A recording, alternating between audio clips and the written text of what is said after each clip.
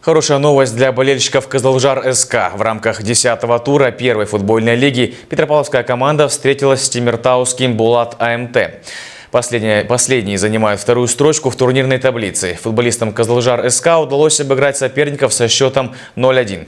На 38-й минуте нападающий Давид Чагалишвили, не заходя в штрафную зону, тимиртауцев с, первого, с левого фланга поразил ворота команды Булат МТ. Тем самым пополнил свою бомбардирскую копилку очередным голом. Теперь футболисты Козлжар СК с 20 очками расположились на второй строчке турнирной таблицы.